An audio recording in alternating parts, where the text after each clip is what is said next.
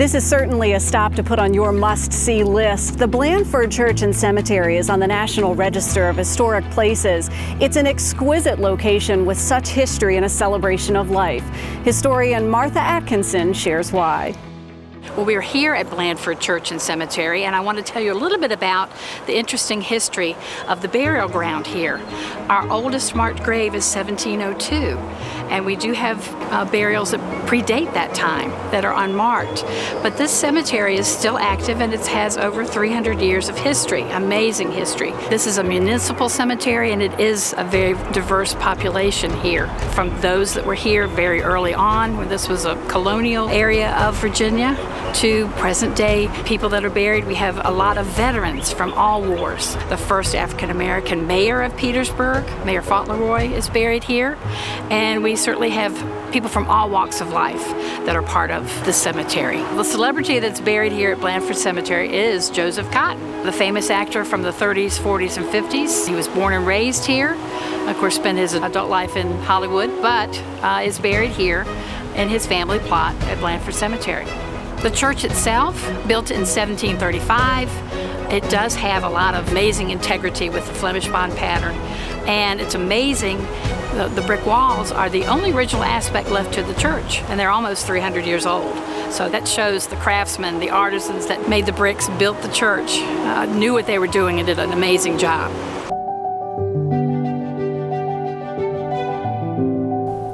It is virtually breathtaking in Blandford Church. The panels here are unlike anywhere in the world. Martha, it's gorgeous. It truly is. This is a very unique church in that we have 15 original Louis Comfort Tiffany windows that had been installed in this church over 100 years ago. Uh, the windows at that time cost $350 with a $35 fee for shipping and installation, so less than $400 per window, and of course they're priceless today. At $350 a panel, they must have known it was an investment, but did they know it was an investment for the future? I think they truly wanted to have something special here. And they probably would be very proud to know that this is still a site that people come to enjoy these beautiful windows. I think they'd be very proud of the fact that they had the foresight to ask the stained glass master at the time to create these beautiful windows for Blandford Church. Martha, these are exquisite works of art and very intricate. It took probably three and a half to four months for each individual window to be made. And again, with the teams of artisans working on in Tiffany Studios, you do have a product that truly is amazing and priceless. This particular window is St. Paul and he's holding a beautiful sword in his right hand. He was beheaded, which is what that sword represents. It's made of beautiful iridescent glass, and it does look very much like a lightsaber from Star Wars. But what's interesting is you had a team of people creating these windows.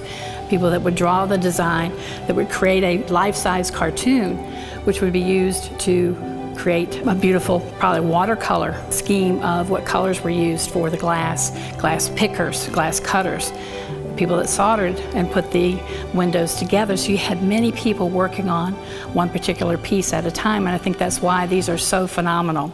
Inside Blandford Church, you certainly have a beautiful collection of wonderful art, but head outside, and there's no shortage of examples here too.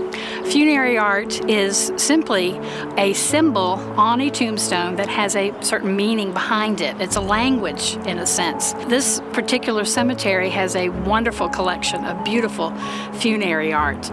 And one of the things that we see behind us, you'll see a married couple that are buried here together, two columns representing their long lives together. But also notice at the top you have two small urns. The urn is representing the remains of the body. And you'll also notice the urn representing the woman is a little smaller than the gentleman's. And what's incredible is these arts and these beautiful uh, commissions were really a celebration of life and a celebration of wealth. The cemetery does have very interesting types of funerary art in that you may be able to tell whether a family was wealthy compared to someone else based on the type of monument they erect in their family plot. You may not be aware of why that particular stone looks that way, but it does have a lot to do with wealth and status in the community. One of my favorites to talk about is Kate Dunlop, who was out toward the newer section of the cemetery. Uh, she passed away in the late 19th century. Her husband wanted to have a beautiful statue erected to her memory, and he actually had a portrait of her sent to Italy. The artist created a larger than life statue of her that is now placed on top of a beautiful pink granite pedestal in the family plot of the Dunlop family. So many reasons to visit the beautiful Blandford Church and Cemetery, from art and architecture to certainly history. You'll want to start planning your visit today. Visit our website, bestpartva.org, and make sure you plan your visit to the best part of Virginia.